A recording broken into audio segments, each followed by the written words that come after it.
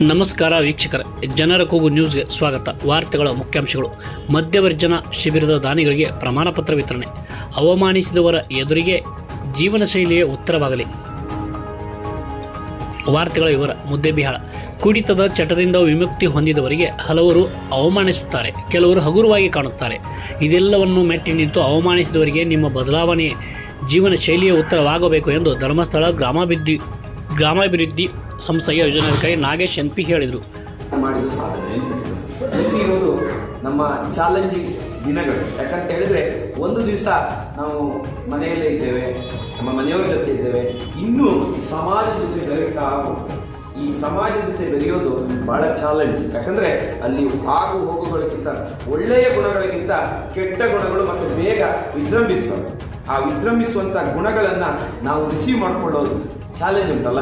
ಈಗ ದೀಪಾವಳಿ ಬರ್ತದೆ. ಪಟ್ಟಣದ ಶ್ರೀ ಕ್ಷೇತ್ರ ಧರ್ಮಸ್ಥಳ ಗ್ರಾಮಾಭಿವೃದ್ಧಿ ಯೋಜನಾ ಕಚೇರಿ ಸಭಾಂಗಣದಲ್ಲಿ ಸೋಮವಾರ ಮಧ್ಯವರ್ಜನ ಶಿಬಿರದ ದಾನಿಗಳಿಗೆ ಪ್ರಮಾಣ ಪತ್ರ ವಿತರಿಸುವ ಕಾರ್ಯಕ್ರಮದಲ್ಲಿ ಅವರು ಮಾತನಾಡಿದರು.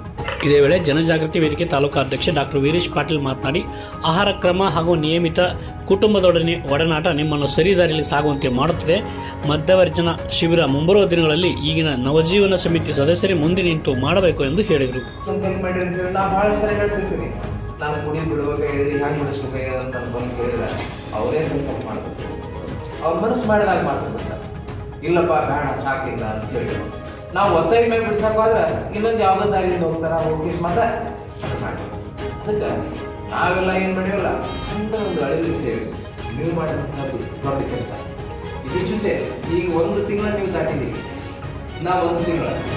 ಕೂಸು ಅಂಬಾಗಿಲ ಈ ಕೂಸು ಅಂಬಾಗಿಲ ಇದನ್ನ ನಾವೇನು ಮಾಡೋ ಓಡಾಕ ಹಚ್ಚಬೇಕಾಗಿದೆ ಈ ಓಡಾಕ ಹಚ್ಚಬೇಕಾಗಿದ್ರೆ ಇನ್ನ ಎರಡು ತಿಂಗಳ ಪೀರಿಯಡ್ ದಾಟಬೇಕಾಗಿದೆ ಈ ಎರಡು ತಿಂಗಳ ಪೀರಿಯಡ್ ದಾಟಿದಾಗ ಮಾತ್ರ ಅದು ನಿಮ್ಮದು ಪೂರ ಸಂಪೂರ್ಣ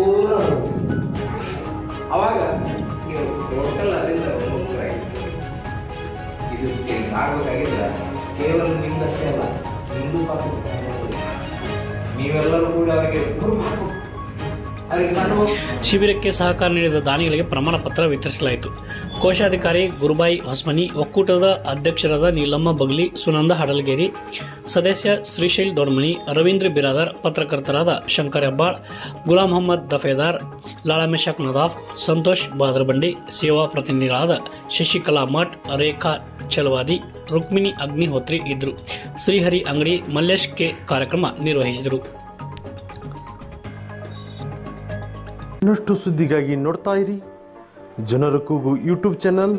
ಇದು ನಿಮ್ಮದೇ ಧ್ವನಿ. ಸಬ್ಸ್ಕ್ರೈಬ್ ಮಾಡಲು ಮರೆಯಬೇಡಿ.